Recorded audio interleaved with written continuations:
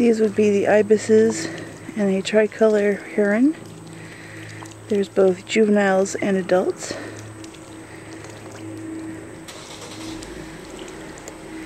And the flopping is fish, gars leaping after minnows and eating them.